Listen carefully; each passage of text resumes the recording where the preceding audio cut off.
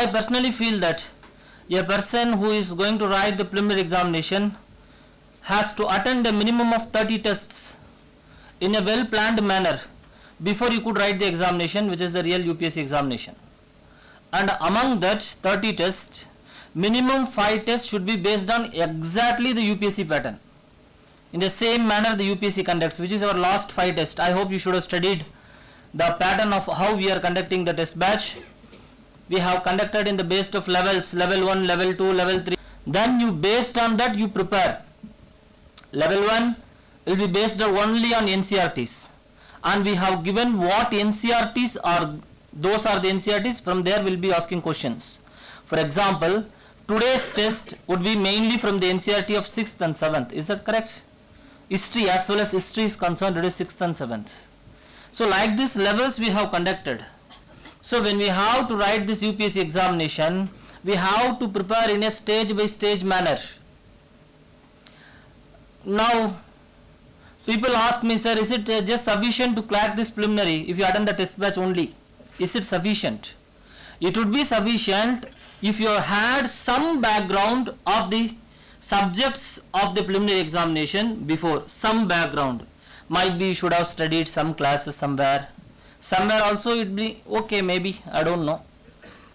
And some background you should have had that will be fine. You understand?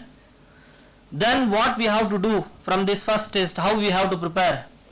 I think uh, we have prepared the test batches based on one week minimum should be there between two tests. You understand? Maybe you will have one week extra in the last one week additional you will have in the last I am thinking. But otherwise normally it is one week only I think in this one week whatever syllabus we have given for the test batch would be very easily covered.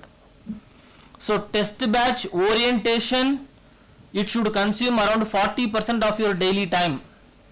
40 percentage of your daily time means in a day let us presume if you are studying 10 hours a day 4 hours every day should be given oriented towards the test batch.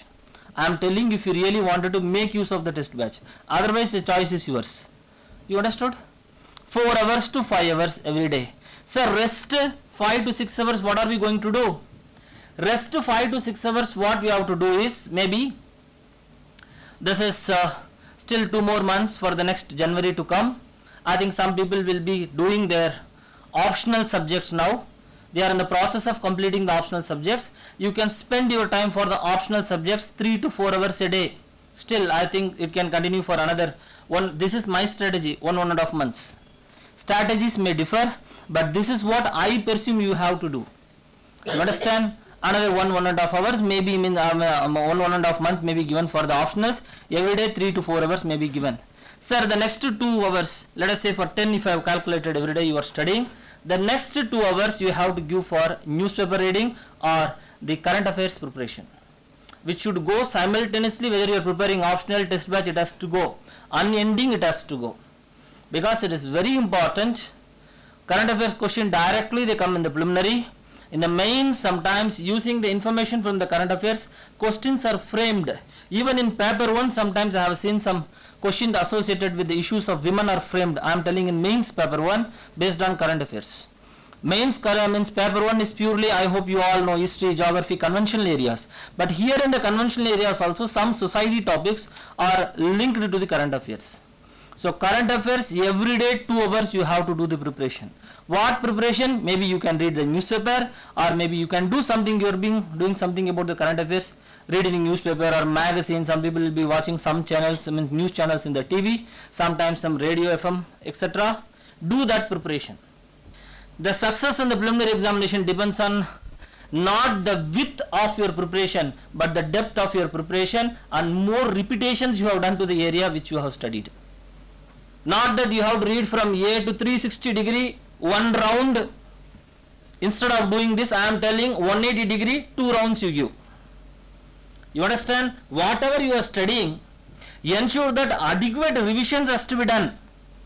Even if you study less ensure that you have an hold in that area. So after having an hold in that area expand so first expansion then consolidation then expansion then consolidation it has to go simultaneously some people how they read just expansion one time they whole read everything, then before they could read complete the last, whatever they have read, read in the first, everything is forgotten. So that means you are reading without consolidating. That means you are reading without revision and repetitions.